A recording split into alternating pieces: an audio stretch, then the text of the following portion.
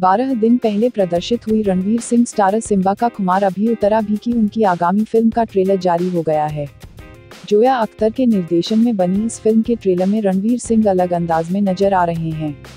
इस फ़िल्म में उन्होंने जहाँ रैप अपनी आवा जमे गाया है, वहीं दूसरी ओर उन्होंने आलिया के होंठों का चुंबन भी लिया है।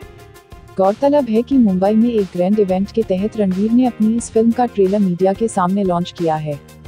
फ़िल्म के ट्रेलर का हर एक फ्रेम इतना शानदार है कि चाहते हुए इससे नज़र नहीं हटाई जाती है। दो मिनट बयालीस सेकंड के इस ट्रेलर की शुरुआत लड़कों के एक झुंड से होती है, जहाँ सभी अपने रैप का टैलेंट दिखाते हुए नज़र आ रहे हैं। यहाँ पर जब रणवीर के किरदार की बारी आती है तो वह दबे पाँव अपने घर वापस लौट जाता है।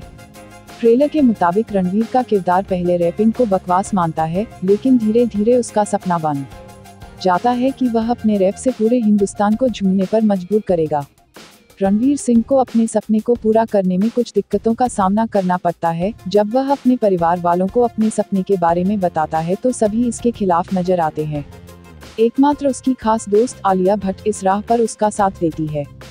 इस फ़िल्म से पहले जोया अख्तर, ज़िंदगी ना मिलेगी दोबारा, और फूल धकने दो, जैसी फ़िल्में बना चुकी है।